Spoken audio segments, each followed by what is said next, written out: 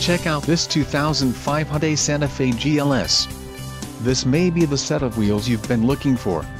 This vehicle's top features include transmission shift interlock, front-wheel drive, plastic underbody skid plate, independent MacPherson strut front suspension, independent multi-link rear suspension, front stabilizer bar, 16-inch x 6.55 spoke aluminum wheels, PWR rack and pinion steering, black roof side rails and accent color lower body side cladding.